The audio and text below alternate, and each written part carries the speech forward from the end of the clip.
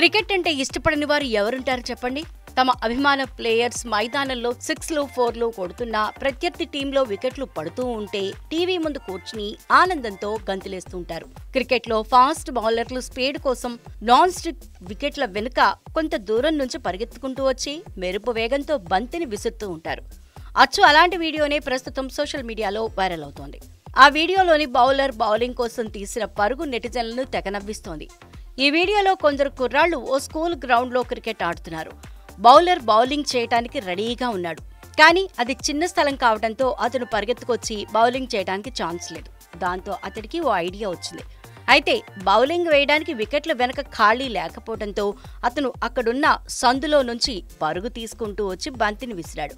నెట్టింట వైరల్ అవుతున్న ఈ వీడియోని మూడు లక్షల మందికి పైగా లైక్ చేశారు. ఈ వీడియో చూసిన నెటిజన్లు రకరకాలుగా స్పందిస్తున్నారు. డైరెక్టర్ త్రివిక్రమ్ చెప్పినట్లుగానే ఇక్కడ కూడా బౌలర్కి స్పేస్ లేదు. అయినా క్రియేట్ చేసుకున్నాడు డైలాగ్ని గుడ్డిగా ఫాలో అయ్యాడు ఈ బౌలర్ అని కొందరు.